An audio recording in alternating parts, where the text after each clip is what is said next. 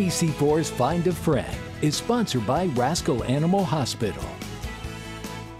Oh, we just have the cutest dog in here today. Susan Smith from Fr Franklin County uh, Dog Shelter is with us, and we've got Sprout, a, a cute five-year-old Yorkie. Yes, he actually came to us as a stray, and uh, he's looking for a new home. So um, I'm hoping he won't be there long. I think somebody out there will probably fall in love, as we all have.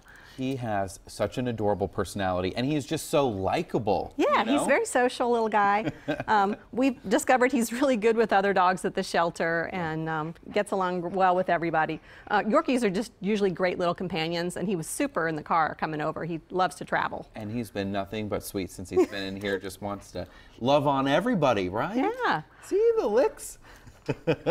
now, of course, we think Sprout is so cute, but so much to talk about this time of year. You know, it is a really busy season for you all. Mm -hmm. um, we're headed into 4th of July, and 1st mm -hmm. things first, we always want to find new animals, their forever homes, and right. you all have a special we honoring do. veterans and active military service members. We do. Um, now through the 4th of July, if you're um, active military or retired veteran, uh, you can adopt any dog at our shelter for just 40 bucks. And it's just our little way of saying thank you um, for all of their service. And uh, oftentimes we find veterans especially really enjoy a companion, yeah. particularly if they live alone or if they're um, you know, troubled by stress, yeah. then, you know, a dog can be an excellent um, social companion. Therapeutic so, in a way. Very much.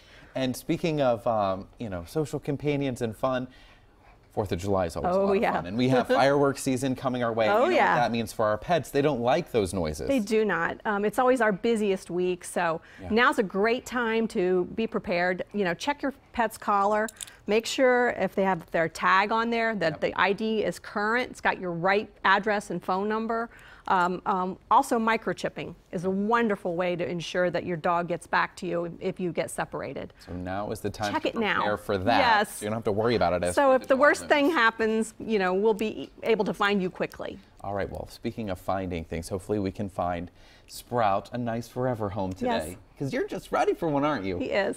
of course, you can always find more about today's segment by visiting our website, NBC4i.com. Simply use the keyword find a friend